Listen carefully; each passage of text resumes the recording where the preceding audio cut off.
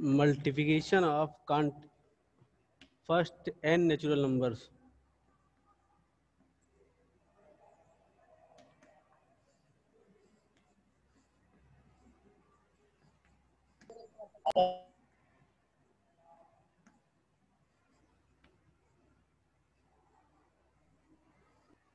अगर हम N natural number है और उनके कॉन्टिन्यूस उन सभी नंबर्स का मल्टीप्लिकेशन कर दें तो उसे हम फैक्टोरियल एन से रिप्रेजेंट करते हैं।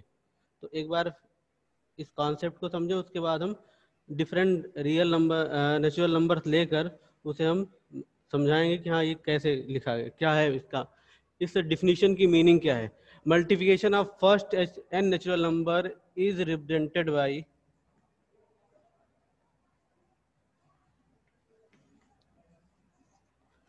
factorial n factorial n का जो सिंबल होगा, ये ऐसा होगा।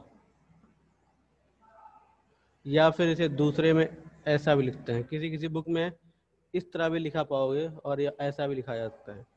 अब इसका फैक्टोरियल एन लिखने का मतलब क्या होता है? One two three up to n natural numbers multiply कर दिए गए। जैसे सपोज़ मैं फैक्टोरियल थ्री लिख दूँ यहाँ पे। तो factorial three means one two three का मल्टीप्लिकेशन जो सबसे बड़ी, बड़ा होगा फैक्टोरियल थ्री लिख रहे हैं, इसका मतलब हम मैथमेटिक्स में समझ लेंगे कि वन टू थ्री मल्टीप्लाई किए गए हैं।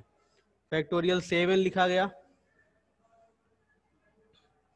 इसको ऐसा भी लिख सकते हैं, ऐसा भी। तो ये हो गया one two three up to factorial up to seven one से लेकर सेवन तक के नंबर्स का मल्टीप्लिकेशन ये हो गया फैक्टोरियल सेवन मतलब कभी भी न, हम फैक्टोरियल चाहें तो छोटी वैल्यू पे ट्रांसफ़र भी कर सकते हैं यहाँ पे दिख रहा है। जैसे मान लेते हैं फैक्टोरियल सेवन लिखा है। फैक्टोरियल सेवन क्या है? वन से लेकर सिक्स तक के नंबर का multiplication one two three one two seven numbers का मल्टीप्लिकेशन सेवन अब इसमें मान लेते हैं हम ये वन से लेकर सिक्स तक के नंबर इंटू सेवन लिख सकते हैं ना। ऐसा और इतना पार्ट क्या हो गया? ये हो गया फैक्टोरियल सिक्स और इंटू में सेवन या इसे ऐसा लिख सकते हैं सेवन फैक्टोरियल सिक्स तो यहाँ से क्या रूल मिला? हम चाहें तो फैक्टोरियल को छोटी वैल्यू पे ट्रांसफ़र कर सकते हैं। फैक्टोरियल सेवन को क्या लिख दिया मैंने? सेवन इंटू फैक्टोरियल सिक्स चाहे तो और यहाँ से सिक्स भी फ्री कर दें। One two three four five five तक को फैक्टोरियल फाइव लिख देंगे six into seven forty two हो जाएगा। इस तरह लिख सकते हैं। मतलब हम फैक्टोरियल्स को चाहें तो उसकी छोटी वैल्यू पे ट्रांसफ़र कर सकते हैं और उस नंबर को फैक्टोरियल फ्री बना सकते हैं। जैसे फैक्टोरियल एन लिखा है तो हम एन को फ्री कर दें, इससे छोटी वैल्यू क्या होगी? फैक्टोरियल एन माइनस वन अब एन और एन माइनस वन दोनों को फ्री करना है। इससे छोटी वैल्यू ट्रांसफ़र कर दिया एन माइनस टू अब इसका मतलब क्या हो गया? वन से लेकर वन से लेकर एन माइनस टू का मल्टीप्लिकेशन ये है, इसके बाद एन माइनस वन और एन ये फैक्टोरियल एन को रिप्रेजेंट कर देगा। तो हमेशा फैक्टोरियल फैक्टोरियल की मीनिंग क्या हो गई? जिस पे, जिस नंबर पे फैक्टोरियल है, उतने कंटिन्यूस नंबर का मल्टीप्लिकेशन फैक्टोरियल रिप्रेजेंट करता है। और फैक्टोरियल को हमेशा उसकी छोटी वैल्यूज़ पे हम चाहें तो ट्रांसफ़र कर सकते हैं, अगर ज़रूरत है तो। अब बात आती है कि इसमें जो फार्मूले हैं, अगर इसमें कहीं कोई दिक्कत है तो you can raise your hand what is the factorial notation? Factorial is, factorial represent the continuous multiplication of that number, up to till till that number अगर हम फैक्टोरियल n लिख रहे हैं तो n तक के नंबर्स का नेचुरल नंबर्स का मल्टीप्लिकेशन वो रिप्रेजेंट करता है। फैक्टोरियल फाइव लिखा तो वन से लेकर फाइव तक के नेचुरल नंबर्स का मल्टीप्लिकेशन क्योंकि नेचुरल नंबर पता है कि वन से बिगिन करता है।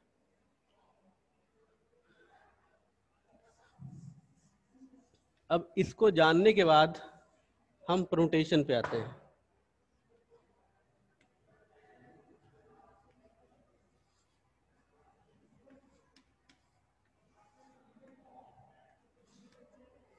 देखो, इस इस चैप्टर में दो वर्ड यूज़ किए जाएँगे। एक है प्रमुटेशन और दूसरा है कम्बिनेशन और दोनों की मीनिंग क्या होती है, ये समझा जाए, फिर हम प्रमुटेशन एक्सप्लेन इसका फार्मूला ड्राइव करेंगे।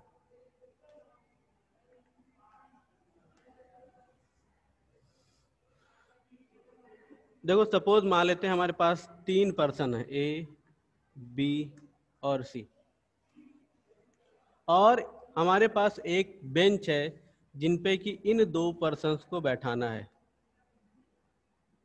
इसमें दो प्लेस है।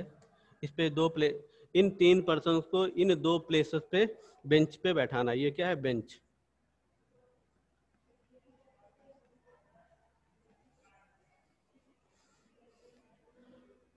तो अगर हमको दो, ये जो दो पर्सन का पेयर बनाना है, हम कितने वेज से बना सकते हैं? जैसे मान लेते हैं ए और बी मुझे लेना मैंने, मुझे दो लेने हैं तो क्या ले सकते हैं? हो सकता है ए और बी मैं ले लूँ यहाँ पे। तो ये एक कंडीशन हो गई। हो सकता है मैं बी और सी ले लूँ। ये दूसरी कंडीशन हो गई। अब हो सकता है मैं ए और सी ले लूँ, ये तीसरी कंडीशन हो गई। एक बार फिर से मेरी बात समझो, मैं क्या बोलना चाह रहा हूँ। We have three person and there is one bench we have to make them sit two person on the bench हमको उन तीन में से दो को बेंच पर बैठाना है। तो हम क्या कर सकते हैं? ए बी को हम लेकर बुला के बैठा सकते हैं बी सी को बैठा सकते हैं और ए सी को बैठा सकते हैं। ये तीन डिफरेंट पेयर्स हम बना सकते हैं। तो ये तीन डिफरेंट पेयर क्या हो गए? These are the three conditions एक चीज़ इसमें है कि इसमें मैंने ऑर्डर ध्यान नहीं दिया। जैसे बेंच है तो दो पार्ट हैं इसके सपोज़ तो मैं ये नहीं देख रहा हूँ, मुझे खाली बेंच पे दो लोगों को बैठाने से मतलब रह गया यहाँ पे। तो जब मैंने ऑर्डर पर ध्यान नहीं दिया है नॉट इन ऑर्डर मतलब कौन किधर बैठ रहा है उससे मुझे मतलब नहीं है। बेंच पर ए और बी ने अपने प्लेस ले लिए, चाहे कोई लेफ़्ट बैठा, चाहे कोई राइट बैठा। उससे मुझे मतलब नहीं ए और बी बैठ सकते हैं बी और सी बैठ सकते हैं और ए और सी बैठ सकते हैं। These are the three different conditions they can follow तो यहाँ पर हमारे हम, अगर मैं ऑर्डर नहीं फॉलो कर रहा हूँ तो तीन कंडीशन बन सकती हैं। अब एक चीज़ और, अगर मैं इसमें ऑर्डर इन्वॉल्व कर दूँ ऑर्डर इन्वॉल्व करने का मतलब सपोज़ मैंने ये लेफ़्ट साइड डिसाइड कर ली है, ये लेफ़्ट है हमारा और ये राइट है।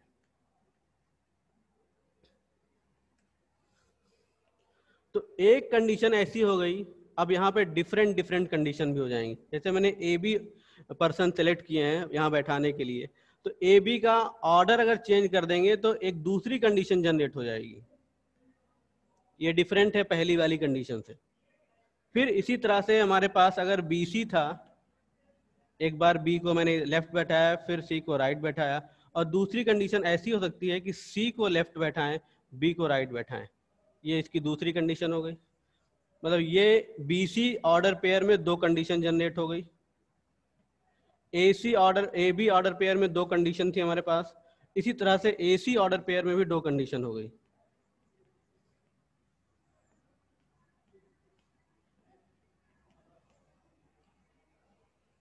अब देखो, यहाँ पर क्या है?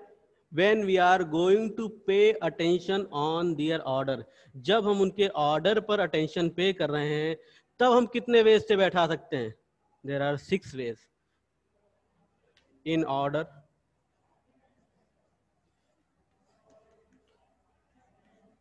it become six ये सिक्स हो गए। मतलब जब हम ऑर्डर पे ध्यान देंगे तो हमारे पास तरीके बढ़ जाएँगे। हम इसको बिना ऑर्डर बैठा रहे हैं तो खाली तीन तरह से बैठा पा रहे हैं। और ऑर्डर पे ध्यान दे रहे हैं तो हमारे पास सिक्स ऑप्शन हो जाएँगे। हम सिक्स तरह से इनको बेंच पर बैठा पाएँगे। तो यहाँ पर जो प्रमोटेशन होता है that depends in the order वो ऑर्डर पे डिपेंड करता है। कॉम्बिनेशन क्या होता है? वो ऑर्डर पे डिपेंड नहीं करता।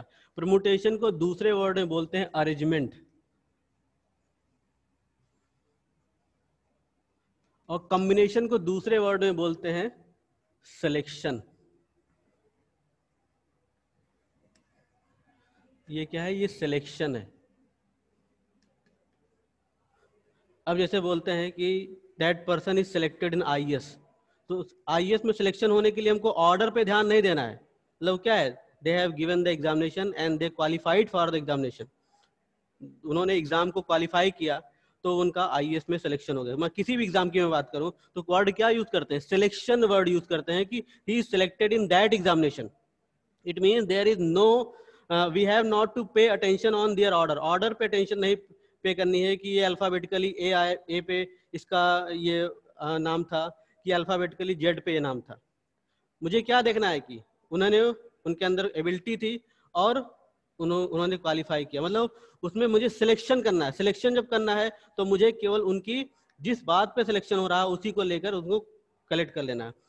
और अरेंजमेंट एक बहुत अच्छा एग्ज़ाम्पल है। सपोज़ क्लास टेन तक तो पढ़ाई हो चुकी है तुम लोग की, क्लास टेन तक कभी कभार टीचर एबसेंट रहते होंगे। तो मान लेते हैं हमारे पास सपोज़ टेंथ में दो सेक्शन है या तीन सेक्शन है सपोज़। सेक्शन ए का टीचर नहीं आया।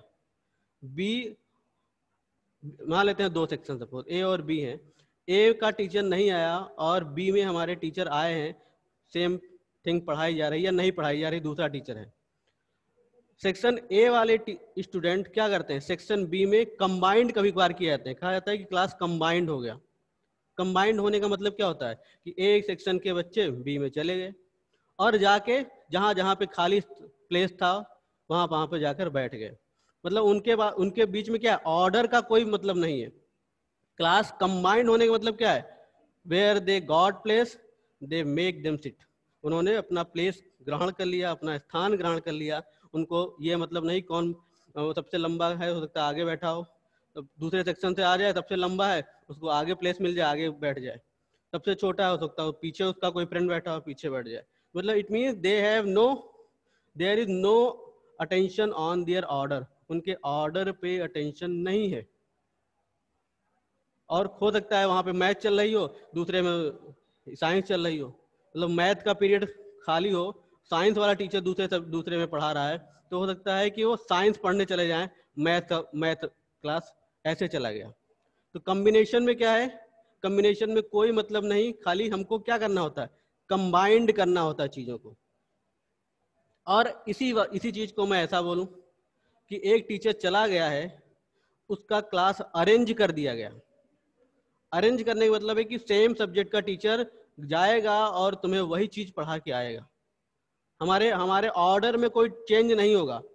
अगर if suppose math teacher is absent then another math teacher will go in your class and teach you it is arrangement मतलब हमारा जैसा सिटिंग अरेंजमेंट है, वैसा बना रहेगा। सेम सब्जेक्ट चलते रहेंगे। हम अपने अरेंजमेंट को, अपने सिस्टमेटिक वे को चेंज नहीं करने जा रहे हैं। तो उसे हम बोलते हैं ये अरेंज हो गया। ये हमारा पीरियड अरेंज कर दिया गया। कंबाइंड का मतलब है कि there is no attention on their order order पे कोई अटेंशन नहीं. Any how it is combined both section किसी तरह से हमने सेक्शन को कंबाइंड करके उनका टाइम पास कर दिया। तो ये कम्बिनेशन और प्रमोटेशन में बेसिक डिफरेंस है। Permutation based on their arrangement or we can say that it is depends on the systematic order. ये सिस्टमेटिक ऑर्डर पे डिपेंड है। और कॉम्बिनेशन क्या है? वो सिलेक्शन पे डिपेंड है, उसमें ऑर्डर से कोई मतलब नहीं होता। तो अब जरा इसकी बात, इसका फार्मूला ड्राइव किया जाए और डिफिनीशन लिखकर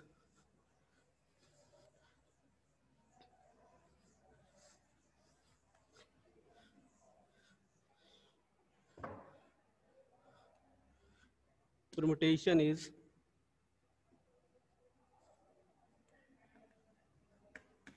is an arrangement.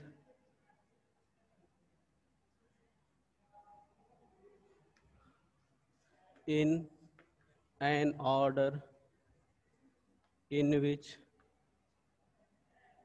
all objects or some of them taken at a time.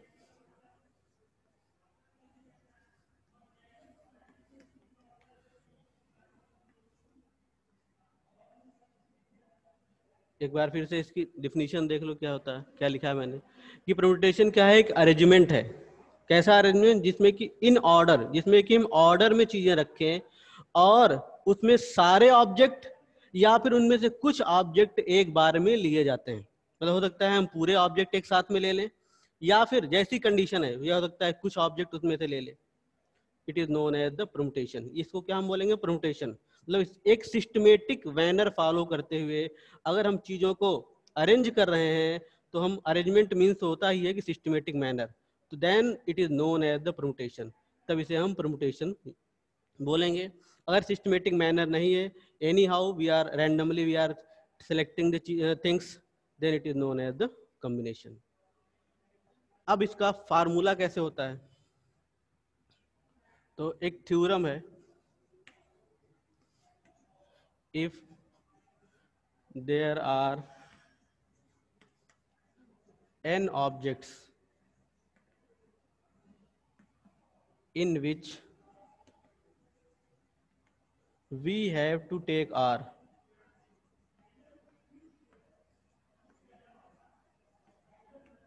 r. What is the r here? R is greater than 0 greater r greater than 0 and less r equal to n.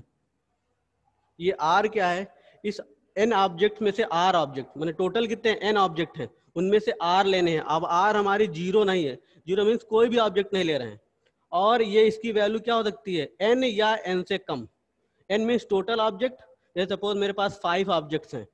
Five में मैं three भी ले सकता हूँ to भी ले सकता हूँ। या फिर टोटल फाइव ले सकता हूँ। Total five means n three two लिया मैंने आर हो गया। इसकी वैल्यू ज़ीरो नहीं ज़ीरो मैंने किसी को मत लेना। तो ऐसी कंडीशन में देन प्रमुटेशन ऑफ़ प्रमुटेशन को कैसे लिखते हैं? N P r n is total object in which we have to take r जिसमें कि मुझे आर लेना है। ये ऊपर क्या लिखा जाएगा? इसको बोलते हैं सुपर स्क्रिप्ट ये सब स्क्रिप्ट ये एन एन है टोटल ऑब्जेक्ट जिसमें कि आर मुझे लेना है। इसका फार्मूला क्या आता है? एन एन माइनस वन और लास्ट में आएगा n minus r plus one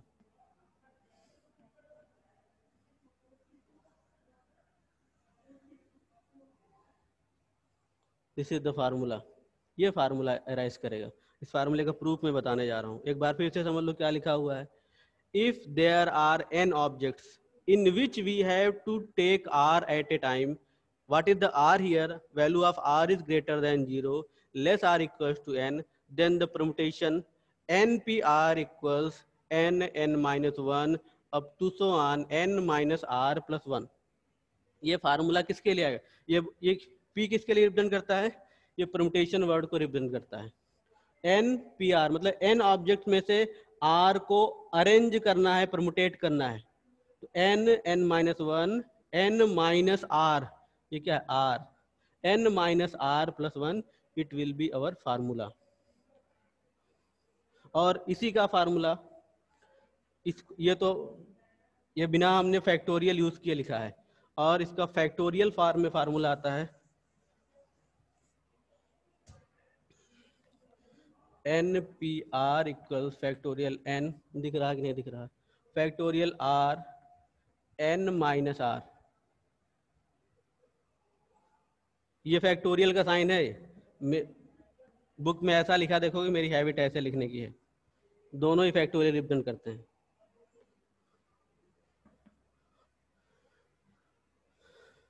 तो ये हो गया। अब इसका जरा प्रूफ देख लिया जाए। तुम में से किसी को कोई प्रॉब्लम होती you can raise your hand easily बस खाली बदमाशी ना करो, अच्छे से पढ़ो, बहुत मज़ा आएगा। कहीं प्रॉब्लम होती you can ask to me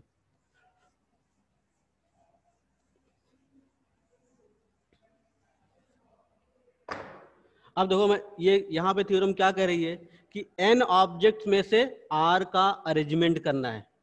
अब इसको दूसरे वर्ड में हम ऐसा बोल सकते हैं सपोज़ हमारे पास एन स्टूडेंट्स हैं दो are standing outside of the classroom and in the class there are r tables r benches या r uh, chairs.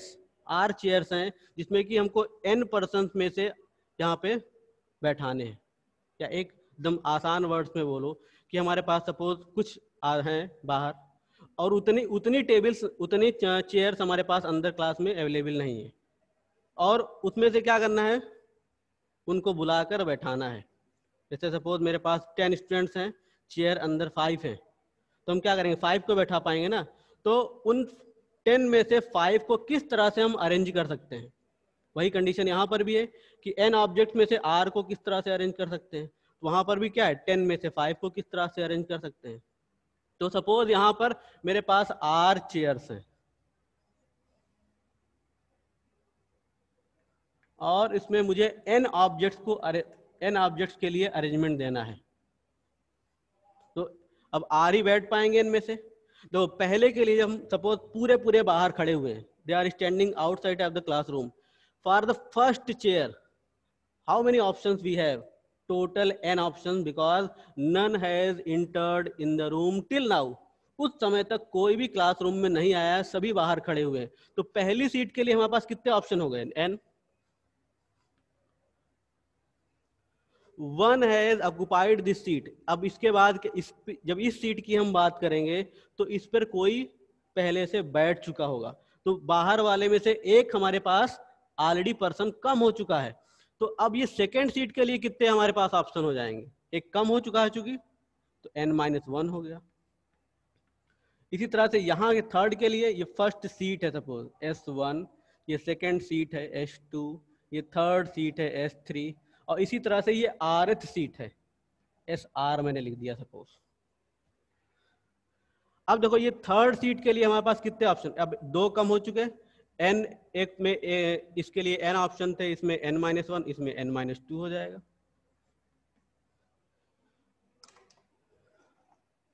अब इस आर में कौन कितने बैठ पाएँगे?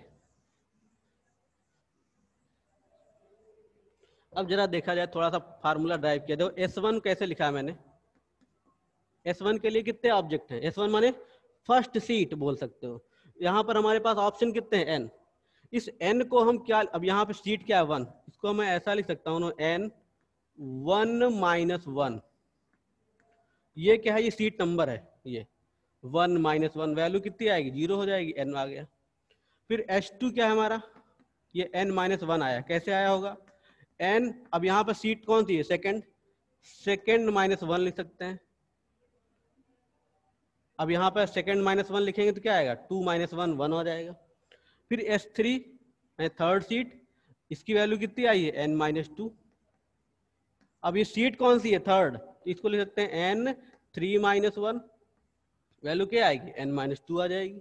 अब ये कौन सी सीट है? आर एथ सीट है हमारी। एस आर वैल्यू क्या आएगी? एन माइनस अब ये आर माइनस वन हो गया। जो सीट नंबर था, उससे एक सब्सटेट करके मैंने लिखा है। यहाँ थ्री था तो थ्री माइनस वन था, यहाँ टू था तो टू माइनस वन था, यहाँ वन था तो वन माइनस वन था। ये वैल्यू सब में वन है। ये क्या है? सीट नंबर है। तो ये सीट हमारी कौन सी थी? आर थी। तो आर माइनस वन इसे सिंप्लीफाई करेंगे तो n minus r plus one आ जाएगा। अब देखो यहाँ पर, इस सीट का क्या हो गया? ऑप्शन कितने हो गए? N minus r plus one अब हमारे पास ये ऑप्शन टोटल ऑप्शन कितने हो गए? और यहाँ पे कौन सी थ्योरम यूज़ हो रही है? मल्टीप्लिकेशन थ्योरम यूज़ हो रही है because we have to give the result taking all the r chairs we have to we have to arrange r the uh, all the r persons on the r chairs and after that we have to give the result. मुझे इन सारे r लोगों को arrange करना है out of n declare करना है। तो bye multiplication theorem value क्या होगी? एन पी आर की। Out of n we have to arrange r n n minus one n minus two and up to so on n minus r plus one ये हमारा एक formula बन गया। अब इसमें कुछ इफ़ बट हो तो please ask to me and then I come on the factorial form of it उसके बाद मैं इसका फैक्टोरियल फार्म डिस्कस करूँ। जरा अगर कोई दिक्कत हो रही हो तो पहले पूछो, उसके बाद मैं आगे बताता हूँ इसे। You can ask to me अपने हाँ, एक मिनट पहले पहले काम ये करना है कि अपने हैंड रेज करना है। I will I will make you unmute हाँ बोलो। कौन कौन है इसमें? किसको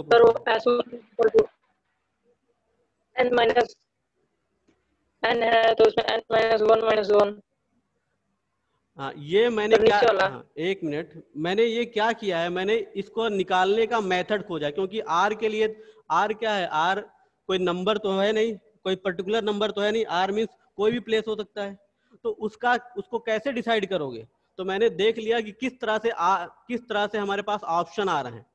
मैंने देखा कि पहले प्लेस पर एन आया है दूसरे प्लेस पे एन माइनस वन आया है तीसरे प्लेस पे एन माइनस टू आया है फोर्थ प्लेस खोजोगे तो एन माइनस थ्री आ जाएगा। तो ये नंबर कैसे आ रहे हैं? उसके लिए मैंने एक फार्मूला बना लिया। कैसे? एस वन की वैल्यू एन है। इसे लिख सकते हैं n one minus one what is the one ये वन क्या है? ये सीट नंबर रिप्रेजेंट कर रहा है। एस टू क्या हो गया? एन टू माइनस वन इसको फिक्स कर दिया। ये भी फिक्स है। खाली यहाँ पे वैल्यू चेंज करते गए। ये किसको रिप्रेजेंट कर रहा है? ये सीट को रिप्रेजेंट कर रहा है।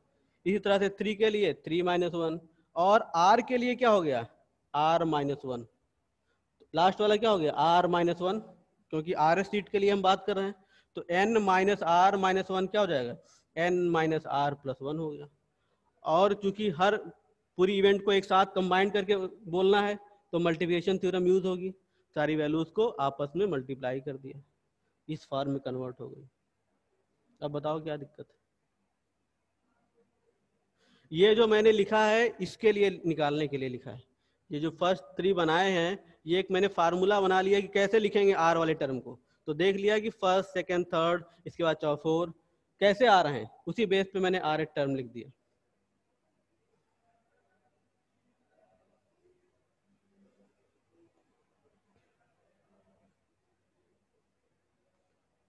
अगर किसी को कोई प्रॉब्लम है तो पूछ सकते हो।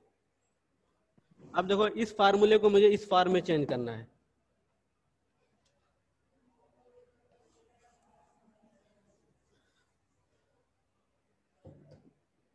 हमारे पास n P of r value I n n minus one n minus two up to one n minus r plus one अब एक चीज़ ज़्यादा ध्यान दो। इस टर्म में इसके इसके आगे वाला प्रोसीडिंग टर्म कैसे आ रहा है? इसमें एक सबस्टेट किया, ये टर्म जनरेट हुआ। इसमें एक सबस्टेट किया, ये टर्म जनरेट हुआ। इसमें, अब इसमें एक सबस्टेट करेंगे तो अगला टर्म क्या आएगा? इसमें एक सबस्टेट करेंगे तो एन माइनस आर आएगा। उसमें एक सबस्टेट करेंगे तो n minus r minus one आएगा। और लास्ट टर्म हमारा वन हो जाएगा। तो एक काम हम ये करते हैं। हमने इस दो, इस, ये जो हमारा फार्मूला है, इसमें न्यूमिनेटर और डिनोमिनेटर में one two n minus r term का मल्टीप्लिकेशन कर दिया। Multiplying by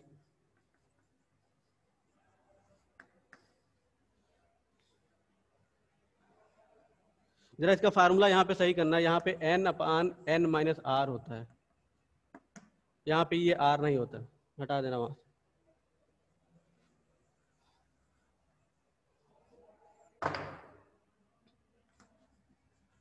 by n minus n minus r n minus r minus one. अब टू वन या ऐसा लिखो ऐसा। One, two, three, up to n minus r. इतने टर्म का न्यूमिनेटर में मल्टीप्लिकेशन कर देना है and denominator. Multiplying this term by in numerator as well as denominator. जरा फार्मूला पिछले लिखा हुआ था, उसको यहाँ पे बगल में, उसको जरा करेक्ट कर लेना, उसका फॉर्म। चलो अभी आ ही जाएगा। डिनोमिनेटर में फैक्टोरियल आर हटा देना। अब देखो, इसको लिखोगे तो क्या आएगा? एन पी आर मैंने क्या किया? इस वैल्यू से न्यूमिनेटर में और डिनोमिनेटर में मल्टीप्लाई कर दिया। तो n n minus one n minus two और इसके बाद n minus r plus one इतना हमारे पास वैल्यू आ चुकी थी। इस टर्म का मल्टी और इसको मैंने कन्वर्ट करके लिख दिया। ये मल्टीप्लाई करना था, यहाँ से चालू किया। उल्टा एन माइनस आर इसके पहले का term n minus r minus one और इसी तरह से ये लास्ट टर्म क्या है? वन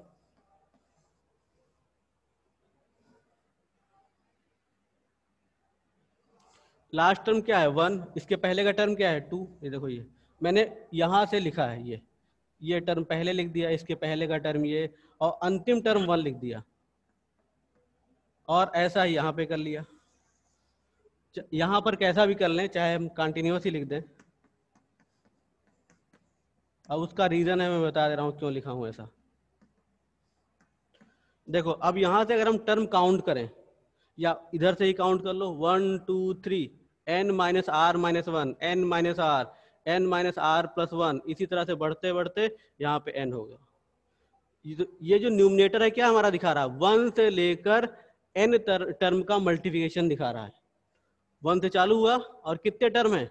लास्ट टर्म हमारा एन है। And these are the continuous terms and these are multiplied by each other तो by the factorial notation it can be written, written by factorial n और denominator में one two three n minus r इसे क्या लिख सकते हो? ये भी कंटिन्यूस टर्म है कब कहाँ तक?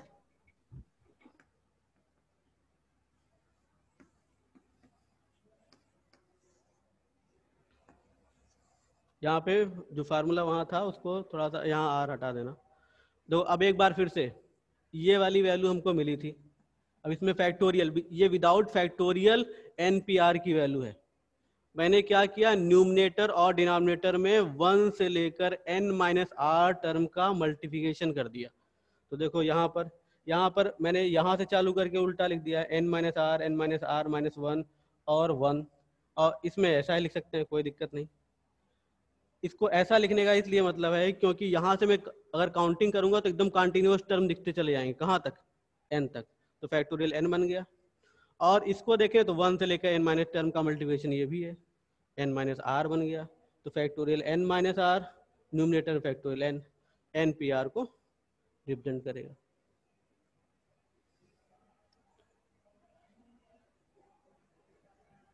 ये फार्मूला हो गया। या फिर बुक में ऐसा लिखा है तो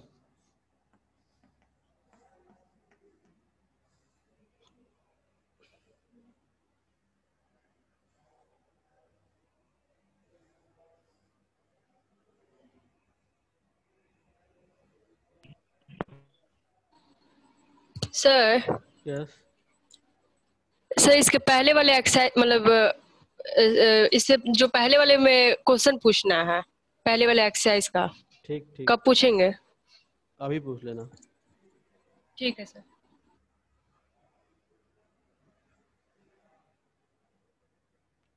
तो ये formula in the form of factorial हो गया और ये फार्मूला विदाउट फैक्टोरियल है।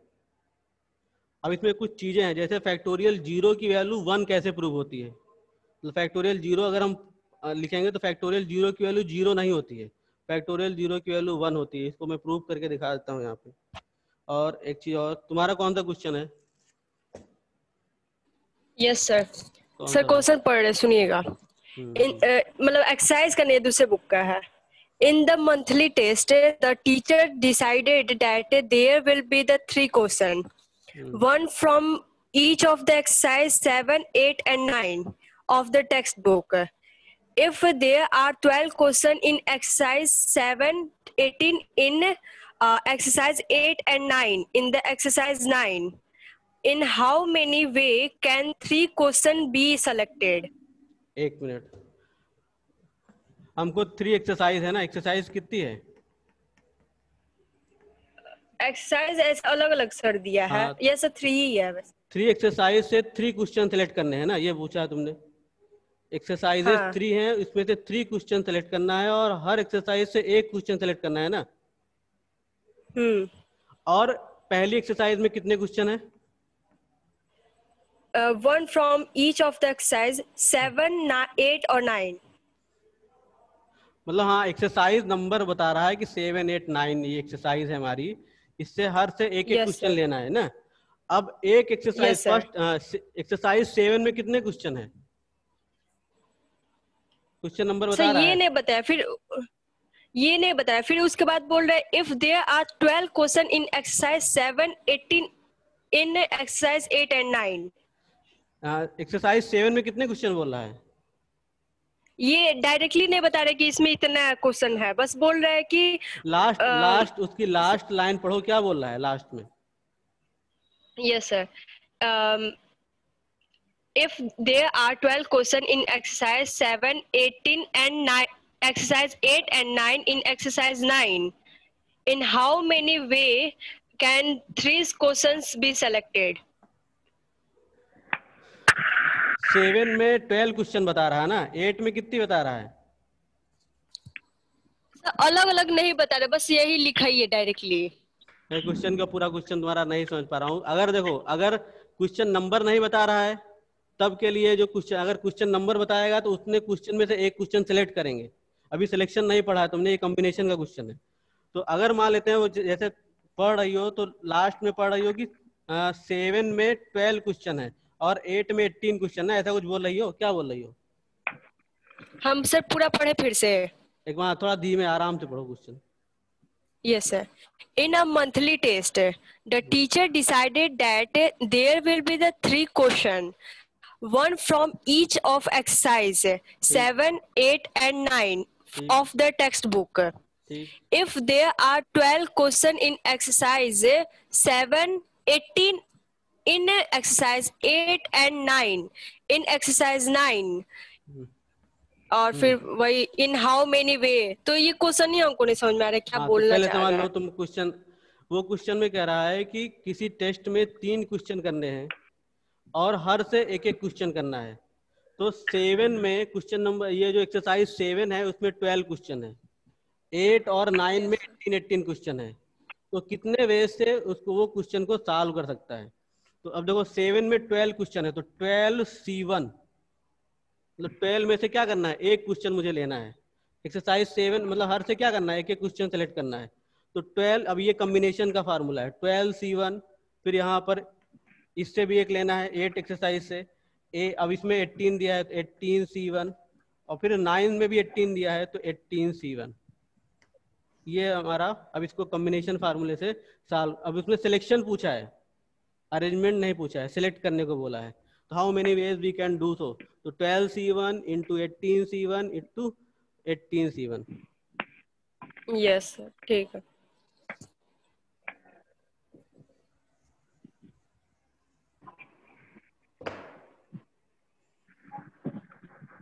Excuse me, sir. हाँ यस सर मेरा थोड़ा नेटवर्क खराब हो गया तो थोड़ा वो लाइक बार बता दीजिए मल्टीप्लाइंग बाई के बाद से। कहाँ नेटवर्क खराब हो गया? देखो वन से लेकर एन माइनस आर ये फार्मूला मैंने ड्राइव किया इसको समझ में आ गया है? इतना पार्ट समझ में आया है? यस सर ठीक है इसके बाद देखो क्या Yes, लिखा. हुआ है। इसमें न्यूमरेटर और डिनोमिनेटर में वन से लेकर एन माइनस आर टर्म का मल्टीप्लिकेशन कर दिया ये। वन से लेकर एन माइनस आर। तो वन से लेकर एन माइनस आर यहाँ मल्टीप्लाई कर दिया न्यूमिनेटर में। वन से लेकर n minus r denominator multiply कर दिया। तो जब न्यूमिनेटर चेक करोगे तो वन से लेकर एन टर्म के कॉन्टिन्यूस मल्टीप्लिकेशन है यहाँ पर।